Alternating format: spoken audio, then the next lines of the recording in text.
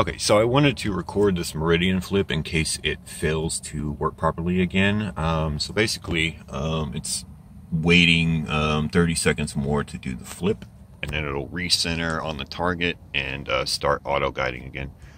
Um, but see, basically, uh, the scope is at its apex on one side.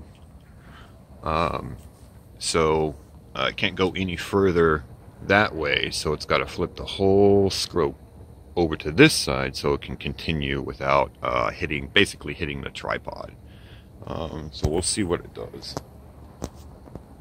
Now the last three times I've tried to do an auto flip, it didn't work properly and it, oh, there it goes, it's flipping now. It wouldn't recenter on the target uh, and I couldn't ever get back onto the target properly. So we'll see what this flip does. Hopefully it'll get back on target.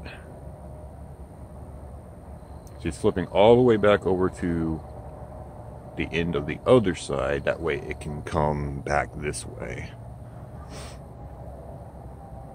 Okay, so now it's done flipping. Um, software, it's letting the telescope settle. Now it will uh, recenter onto the target and plate solve to make sure it's uh, exactly in the same looking in the same position as it was before the flip. Once it um, once it figures out that it's in the right place, then it'll select a new guide star for the auto guider. It'll start the auto guider back up, let the telescope settle for a few seconds, and then it'll begin um, taking images again. So, sorry about the glare. Uh, I guess since that flip is done, I can turn this off. Okay, so now it's plate solving. Um, basically, it's checking um, a database snapshot of that place in the sky to match up where the stars are um, to see if the telescope is pointed at the right star position that it should be for this target. This usually takes a few minutes. Um, depending on how quickly it uh, it plate solves. So this laptop's old, so it kind of it's a little slow in plate solving. Hopefully this goes well. I have not had a successful Meridian flip yet out of the three before this that um, that I've tried to do. So uh, we'll see what it does. Hopefully it all goes well. So far tonight's been a perfect night, so a perfect meridian flip would be icing on the cake at this point. I'm almost done with my imaging session anyway. I've got, what does it say, 77 out of 100 left in my light frames.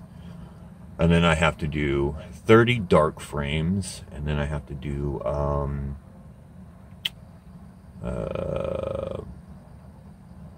50 flat frames and 25 or 30 um, dark flat or bias frames. Those are all calibration stuff, um, which I'm not going to go into detail here because it's a lot, whole lot of explanation and stuff. So. Oh, that one actually worked. Cool. Okay, so now it's re, uh, it's lining back up to the target now that it knows where it's at and it'll center the target in the in the image frame. Plate solve again until it's perfectly centered up and once it's perfectly centered up then it'll resume guiding and start imaging again. See that warning went away but the errors don't go away. It's a bunch of crap. I don't know. I'm on a really really old version of Nina so I probably need to update but I can't because Nina, the newest version, like 2 point whatever, um, doesn't support Windows 7, which is what my laptop is on. So for now, I've got to be on version 1.10, I think. It's fine. This version works great. Okay, this plate solve should work. Okay, that worked. Now it's picking the new guide star. Resuming auto guide.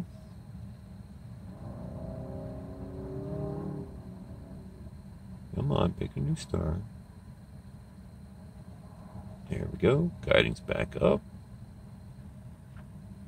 Let the telescope settle and get back to movement. Alright, and now it's doing um, imaging again. So that's pretty much it. I mean, that took a long time and it almost didn't work, but that was a successful meridian flip.